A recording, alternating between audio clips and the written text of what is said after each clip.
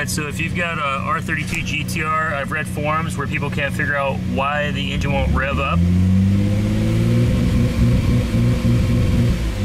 And from what I've read, it's the mass airflow sensors, and according to the local shop near me, Up Garage in Tacoma,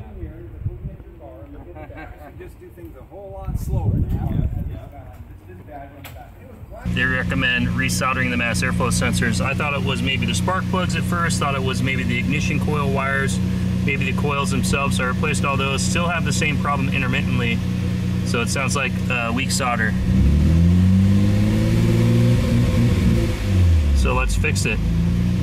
I've got my mass airflow sensors taken apart and I'm getting ready to replace the, or resolder the electrical pins.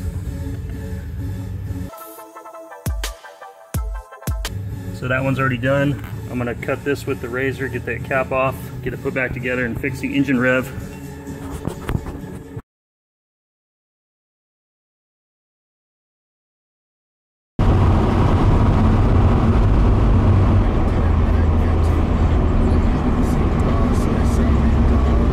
Well, we're back home.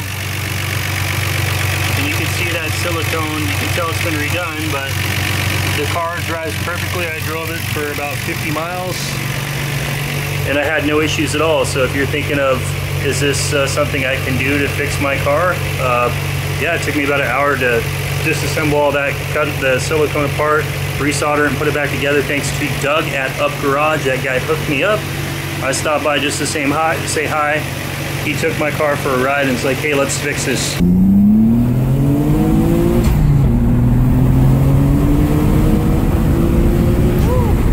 I'll tell you how to do it, and he kind of helped me out, and I did the work myself. Uh, he soldered one, I soldered the other. So, anyway, guys, thanks for watching. Hope you liked the video, and I will see you next time.